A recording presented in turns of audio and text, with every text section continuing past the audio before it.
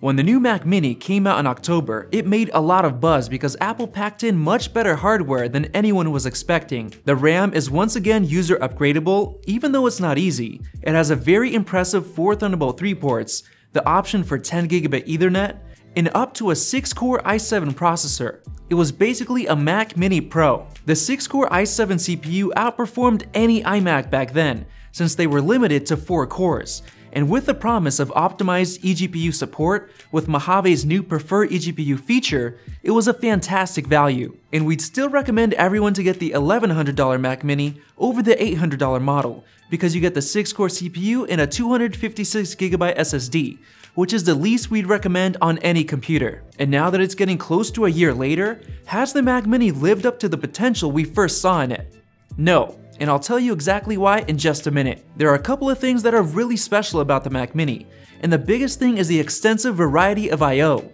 With 4 Thunderbolt 3 ports, 2 USB 3 ports, the option of 10 gigabit Ethernet and HDMI. You literally cannot get this much I.O. on any other Mac except for the $5,000 iMac Pro. It even allows you to swap out the RAM yourself and save about $550 on a 64GB kit compared to Apple's $1,000 64GB RAM upgrade by using the link in the video description below. The Mac Mini packs a ton of performance for the compact size, and the most important thing is that it runs macOS and will continue to get macOS updates for free for years to come. And because of the compact size, you're definitely not getting the full performance out of the 6-core CPU because it does throttle down a bit compared to its potential in a machine with better cooling, but it still performs very well. The only major downside of the Mac Mini is that it doesn't pack a dedicated graphics chip, but that may not be a bad thing if you're someone like a photographer or a programmer who literally doesn't need any extra graphics performance at all. But if you're looking to do some video editing or 3D animation work,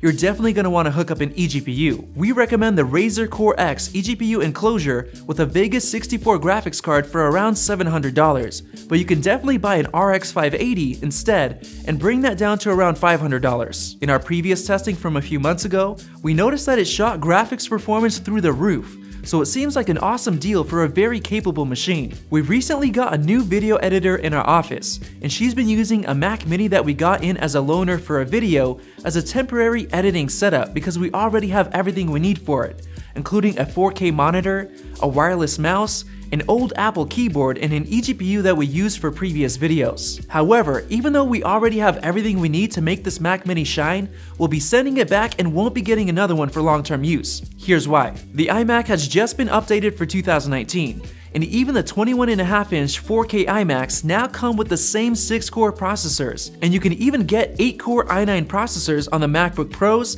and 5K iMacs. And while it may seem like the Mac Mini is a much better deal, now that the iMacs have been updated, everything that's bundled in for that price makes it a much better value than the Mac Mini, even if you have to spend a little bit more cash. First off, the Mac Mini comes with nothing. No mouse, no keyboard, and no display, while the iMac comes with all of that. That's $100 for the keyboard, $79 for the mouse, and the best part is the 5K display, which is one of the best displays you can find on the market featuring incredible color accuracy, brightness, and super sharp resolution. The standalone LG version of that display was priced at $1,300, so if you add all of that up, the iMac is a much better deal, and it comes with a dedicated graphics card. The problem with getting an eGPU on the Mac Mini is that you lose a lot of performance efficiency because the data has to go through the Thunderbolt 3 cable, so a much more powerful Vega 64 graphics card ends up not being that much faster than the Radeon Pro 580X and the 5K iMac. Now of course, if you don't need graphics performance, the Mac Mini starts to make a lot of sense, but if you're a photographer who's going to buy a very color accurate 4K display for a few hundred dollars, it actually makes more sense to just pay $500 more to get a very color accurate P3 display, mouse, keyboard, and 560X graphics, which is what comes in the $2,800 MacBook Pro. Now if you're looking for a bit more performance than that, you can get the i7 6-core processor, 512GB of SSD, and if you already have your own mouse, keyboard, and monitor, you'll spend $2,000 if you get an eGPU with the RX 580 graphics. And for just $400 more, you can get the top-end 5K iMac, which comes with the peripherals, much better graphics performance due to it being more efficient inside the machine, easy access to RAM with double the RAM slots, and of course, that gorgeous and color-accurate 5K display. And even if you spend more and get the Vega 64 graphics card and the eGPU, In many cases, the 580X graphics in the iMac will perform just as well or even better and you don't need to have a large and loud box sitting on your desk. Now if Apple upgraded the Mac mini with an 8-core processor, or if eGPU performance was better, it would make a lot more sense. But at this time, we would honestly suggest almost everyone to just save up a bit more cash and go for the new iMac.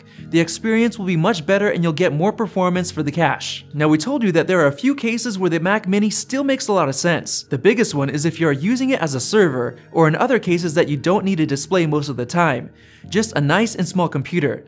The Mac mini would be a perfect option for this. The second is if you really need more than two Thunderbolt 3 ports, which you can't get on the new iMac except for the iMac Pro. And along with that, if you need 10 gigabit Ethernet and you don't want to use up one of your Thunderbolt 3 ports for an adapter, it's only a $100 option on the Mac Mini. And lastly, the Mac Mini makes sense if you don't need a good graphics card, say for photo editing or coding, and you already have a display and peripherals that you want to use. For most people though, even in this scenario, we would highly suggest giving the 4K or 5K iMac a shot. It's seriously amazing once you try it. We've been using the 5K iMac for years, and we can't go back to an average 4K monitor. The Mac Mini isn't a bad machine by any means, and it still has some good uses, but almost a year later, it doesn't offer the same value that it had at launch. The processors are no longer special, considering that the new MacBook Pro and 5K iMac now offer 8-core CPUs and eGPU performance is nowhere near where we thought it'd be. We really hope that Apple won't forget about this tiny powerhouse and will keep updating it with new processors and better cooling. But for now, we think most people will have a much better experience with an iMac. If you enjoyed this review, make sure to tap that like button, click the circle above to subscribe, and check out one of those two videos right there. Thanks for watching, and we'll see you in the next video.